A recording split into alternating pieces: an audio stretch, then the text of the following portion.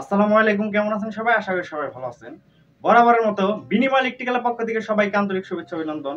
আজকের যে ভিডিওটি, তো এর আগে অনেক ভাই আমাকে কমেন্ট করেছেন যে আমাদের যে ব্যাটারি চালতে ইজি বাইকের যে অ্যাসিড থাকে, ব্যাটারির যে অ্যাসিড তো সেই অ্যাসিড কীভাবে বারোশো আশি করবেন এবং অ্যাসিডের সাথে কয় লিটার পানি মিশালে সেটা আপনি বারোশো আশি হবে, এই সম্পর্কে একটি ভিডিও দেওয়ার জন্য। তো সেই কারণে আজকের এই ভিডিওটি শুধুমাত্র এই বিষয়টার উপরেই যে এক লিটার অ্যাসিড সমান সমান কয় লিটার পানি মিশালে সেটা আপনি ব্যাটারিতে ব্যবহার করতে পারবেন, সেই সম্পর্কে কিন্তু আজকের এই ভিডিওটি তৈরি করা।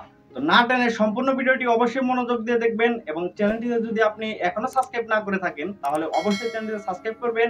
আর যারা অলরেডি সাবস্ক্রাইব করেছেন, তাদেরকে অসংখ্য ধন্যবাদ। তো তার আগে বলে রাখি, যারা আমার সাথে যোগাযোগ করার কোনো মাধ্যম এখনও খুঁজে পান নাই, তো অনেকে বারবার কমেন্ট করেন যে, ভাই, আপনার ফোন নাম্বারটা দেওয়ার জন্য। তো স্ক্রিনে যে নাম্বারটি দেওয়া আছে, এটাই হচ্ছে আমার পার্সোনাল ফোন নাম্বার তো আপনারা চাইলে এই নাম্বারে যোগাযোগ করতে পারেন। কিন্তু ছোটখাটো বিষয় নিয়ে অবশ্যই একটু ফোন না দিলে ভালো হয়। যদি সেটা আপনার জন্য অনেকটাই বড় কিছু মনে করেন, অথবা সেটা যদি একটু রিক্সি মনে হয়, সেই বিষয়ে আমার সাথে যোগাযোগ করতে পারেন। আপনি চাইলে ফেসবুক পেজেও কিন্তু আমার সাথে যোগাযোগ করতে পারেন। ফেসবুক পেজে যাওয়ার পর, অথবা আপনি যখন ফেসবুক ওপেন করবেন, তো সেখানে সার্চ বারে লিখবেন এম এক্স আলামিন খান তো সেখানে যে প্রথম যে যে এই প্রোফাইলটি দেখতে পারতেছেন, এটাই হচ্ছে আমার ফেসবুক প্রোফাইল তো এর ভিতরেও কিন্তু ইলেকট্রিক্যাল অনেক প্রকার ভিডিও আছে, তো এখানে আপনি অবশ্যই ফলো করে রাখবেন। তো কাজের ব্যতিক্রমে কোনো কিছু যদি আপনি আমাকে দেখাতে চান, তো সেটা ভিডিও এবং ছবি আকারে কিন্তু আপনি আমার সাথে এই ফেসবুক পেজে সরাসরি দিতে পারবেন। তো এখন আসি মেন যে কথা সেটা হচ্ছে এক লিটার অ্যাসিডের সাথে কয় লিটার পানি মিশালে সেটা ব্যাটারিতে দেওয়ার যোগ্য হয় এবং আপনারা কীভাবে সেটা ব্যাটারিতে ব্যবহার করবেন সেটা নিয়ে কিন্তু এই ভিডিওটি তৈরি করা। তো আমরা কিন্তু অবশ্যই সবাই জানি যে আমাদের যে ব্যাটারির যে অ্যাসিড সেটা কিন্তু সরাসরি অ্যাসিড না এবং সরাসরি অ্যাসিড কিন্তু ব্যাটারিতে কোনোভাবেই কিন্তু দেওয়া যাবে না, তাহলে কিন্তু ব্যাটারি কিন্তু একদম নষ্ট হয়ে যাবে। কারণ সরাসরি যে অ্যাসিড সেটা কিন্তু অনেকটাই কিন্তু ক্ষতিকারক এবং অনেকটাই বিপজ্জনক এবং এর কিন্তু গুণও আছে। তো সেই ক্ষেত্রে সরাসরি যে অ্যাসিড, সেটা হচ্ছে সালফিউরিক অ্যাসিড এবং আমরা যে ব্যাটারিতে যে অ্যাসিড ব্যবহার করি, সেটা হচ্ছে লিড অ্যাসিড।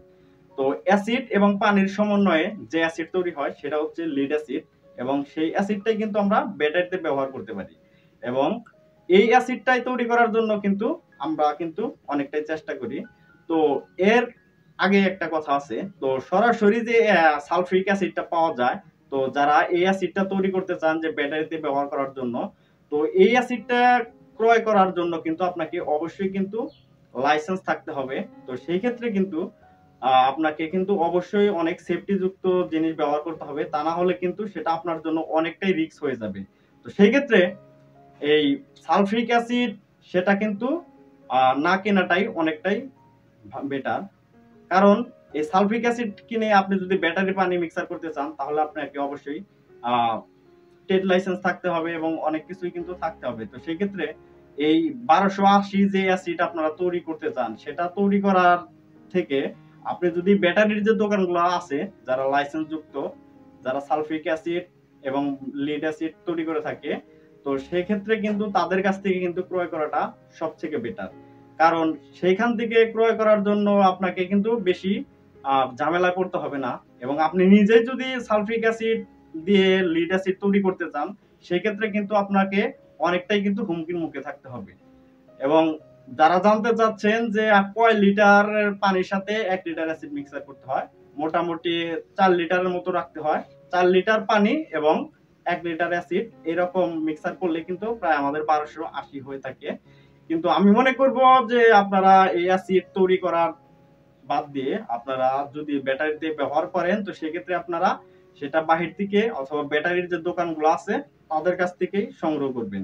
কারণ এইখানেই হচ্ছে আপনার জন্য খুবই সুবিধা। আজকের ভিডিওটি এখানেই শেষ করব। ভিডিওটি ভালো লাগলে অবশ্যই লাইক, শেয়ার, কমেন্ট করবেন এবং ভিডিওটি নিয়ে যদি আপনার কোনো প্রকার কোনো মন্তব্য থাকে, তাহলে অবশ্যই কমেন্ট করে জানাবেন। তো ভালো থাকবেন, ভালো রাখবেন। ধন্যবাদ সবাইকে। আসসালামু আলাইকুম।